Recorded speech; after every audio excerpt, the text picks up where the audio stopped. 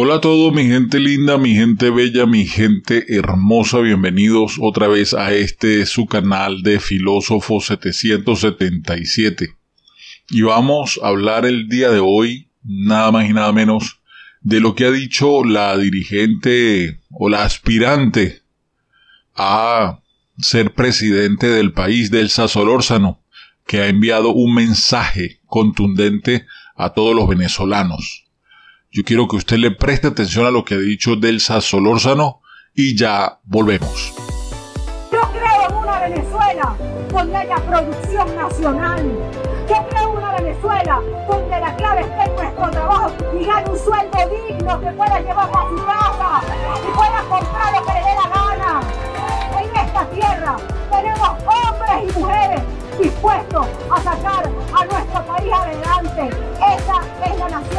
con la que yo sueño.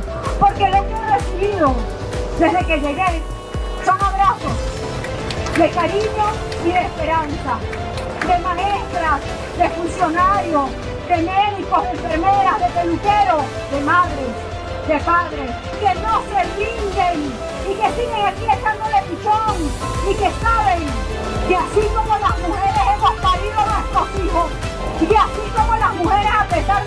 adversidad, seguimos echando nuestros muchachos para adelante. Hoy nos toca parir la libertad de Venezuela. Bien, ¿cómo le parece?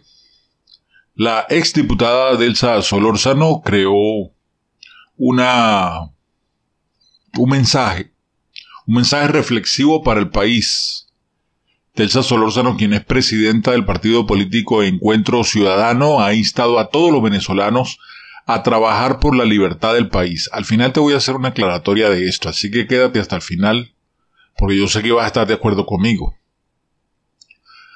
Yo creo en una Venezuela donde haya producción nacional, dijo ella en el audio. Yo también creo. Pero hecho no, no es cuestión de creer, es cuestión de hacer posible. Hago un paréntesis. Recuerde que cuando, antes de que Chávez llegara al poder, en Venezuela se encontraba semillas. Hay un instituto que es el que se encarga del manejo de las semillas del país. Y ese instituto era un instituto privatizado, donde las personas iban, los agricultores iban y compraban las semillas. Lo mismo había una empresa que se encargaba de importar todo lo que se necesita para las bolsas, para el empaquetado, sellado y demás tanto en bolsa plástica como en aluminio. Y todo esto lo manejaba un sector privado.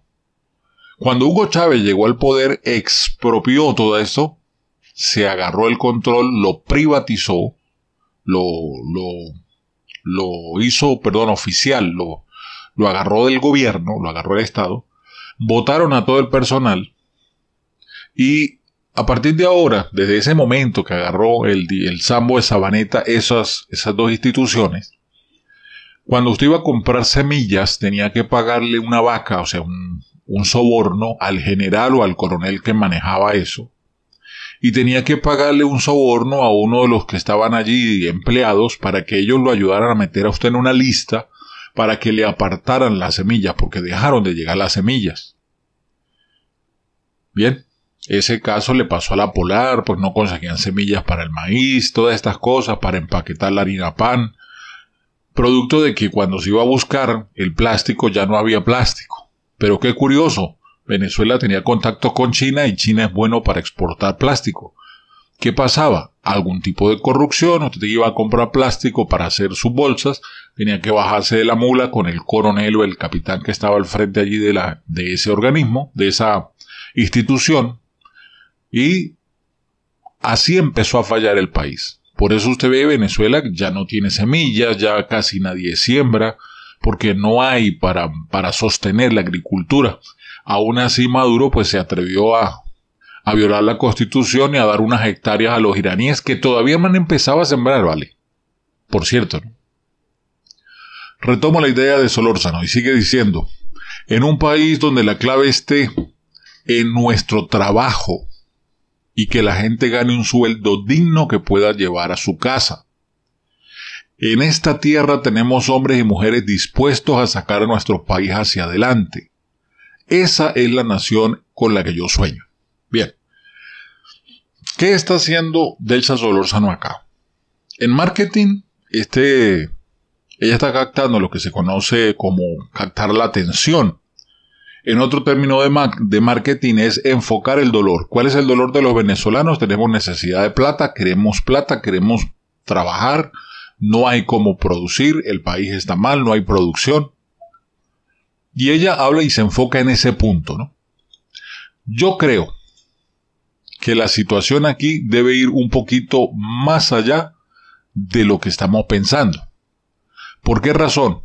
Porque resulta, pasa y acontece, de que nosotros tenemos que tener bien claros, y eso hay que tenerlo bien claro, que la única manera en que este país va a echar hacia adelante es saliendo radicalmente del chavismo.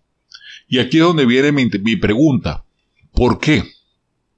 Ella, siendo parte de la Asamblea Nacional, cuando era miembro de la Asamblea Nacional, ¿por qué ella nunca propuso el cambio de los rectores del Consejo Nacional Electoral cuando ya ella sabía que ellos se habían ido, que ellos ya estaban de irse, que ellos ya le había vencido el plazo? Nunca llamaron a los postulados, nunca se hicieron las revisiones hasta que el TSJ de Michael Moreno decidió por órdenes de Maduro, escoger al CNE actual. Eso es para mencionar solamente ese temita. Porque que la vimos caminando por las calles y llamando adeptos para hacer un meeting, para eh, esas marchas que, que fueron infructuosas, que no llegaron a nada. Sí la vimos, sí, sí caminó, sí se movió, pero realmente yo creo que el papel de ella como, como asambleísta, como diputada debería ir más allá, debió haber ido más allá a hacer llamados contundentes.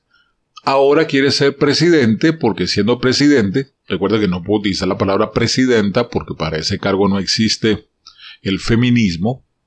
Este, ella quiere ser presidente para siendo presidente poder enfocarse a sacar el problema, a resolver el problema de los ciudadanos. ¿Cómo? Mencionando cuál es el dolor, pero no nos da una solución. Hace días también yo les compartí una, un audio de ella donde ella hablaba de que ella le estaba prestando a la oposición la solución al problema para resalir de Maduro. Hasta el momento no tenemos conocimiento de cuál es el plan que ella nos iba a prestar a todos los opositores para salir de Maduro. Nosotros tenemos ingenio y bueno, nosotros decimos por ingenio la única manera de sacar a Maduro es salir a las calles, irnos a Caracas, que haya otro Caracazo, que se bajen los cerros, que pase lo que tenga que pasar, conseguir herramientas, nos vamos a Miraflores y bueno, damos dosis de paz, paz, paz y si acabó el asunto.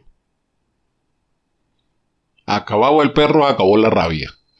O aplicar lo que se aplicó el 23 de enero, cuando la salida Marcos Pérez Jiménez, que fue una salida estratégica, pero también fue decisiva y contundente porque la gente no salió a guavinear, la gente no salió a marchar. La gente a veces piensa que el 23 de enero solamente las multitudes salieron a caminar. No, no, no. Léanse la historia completica. Léanse la historia completica. La gente salió contundentemente a darle chumbimba directamente a los ministros de Marcos Pérez Jiménez. Cuando se bajaron cuatro, mire, todo el mundo empezó a correr, las ratas abandonaron el barco. Y sacaron a Marco Pérez Jiménez. La gente de la Seguridad Nacional, se bajaron unos cinco o seis de Seguridad Nacional y se acabó el asunto. Eso en todo el país, todo el mundo empezó a correr, a dejar el pelero, porque fue contundente. Venezuela necesita una salida contundente. Lamentablemente, eh, a alto costos, pero es contundente. No marchita a tomarse selfies con estrellas.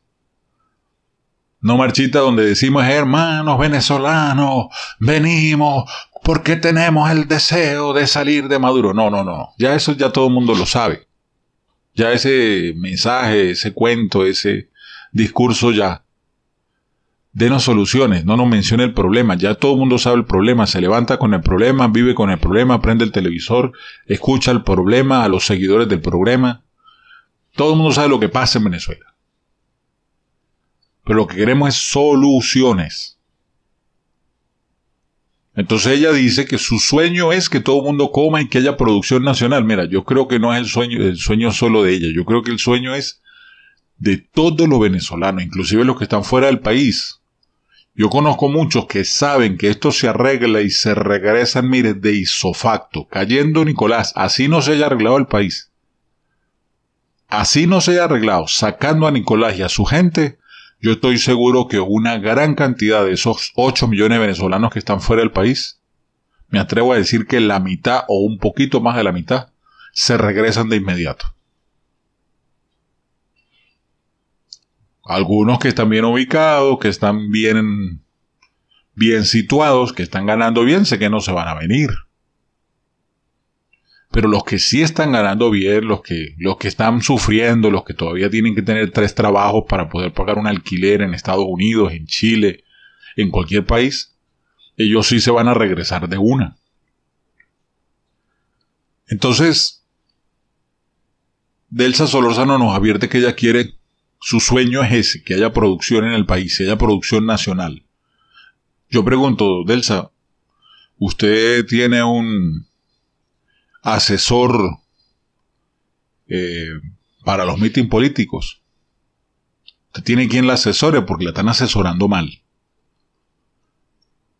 La están asesorando mal. Porque usted no. Un candidato que quiera ganar no puede solo mostrar el dolor. Tiene que dar soluciones.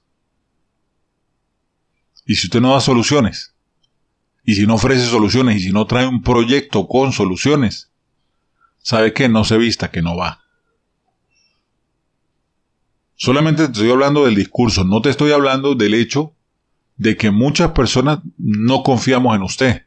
Primero porque usted fue la, la chupamedias de Juan Guaidó. Usted lambía el piso por donde él caminaba. Y esos extremos no son buenos. Usted le apoyó sin vergüenzuras y le apoyó muchas cosas. Segundo, porque según la periodista Patricia Poleo y otros periodistas, usted también estuvo metida en los casos de monómeros, usted también recibió plática por ahí de Sidgo, de las juntas ad hoc, usted también se llevó su guardado como lo hizo Guevara y como lo han hecho otros personeros que trabajaban para Guaidó, tenían derecho a su tajada. Entonces, yo no confío en usted. Y yo creo que como yo hay muchos que tampoco confiamos en usted. Puede hablar bonito, pero hoy le repito, el mensaje está mal dado. Te voy a enseñar, te voy a pedir una, una cosa. Si usted quiere de verdad llegarle al corazón de las personas, señora Delsa, leas el libro de Véndele a la mente y no a la gente, para que tenga una idea de qué es lo que usted tiene que hablar en sus discursos. ¿Ok? O apréndale a María Corina, que María Corina le lleva un buen terreno en cuanto a eso. Ahora sí me despido, señoras y señores. Dime qué piensas al respecto. Regálame un like. Como siempre, comparte esta noticia en las redes sociales y dime qué piensas tú de Delsa Solórzano. ¿La ves posible? ¿Tú crees que sí, que no? ¿Te convence, no te convence? ¿Tú crees que ella es más de lo mismo? ¿Crees que es distinta? Tú puedes diferir de lo que yo digo tranquilamente, déjamelo en la caja de comentarios que me encantaría leerte, ¿ok? Dedito arriba y recuerda visitar mi página web autodidactamillonarios.com o filósofo777.com. Bendiciones.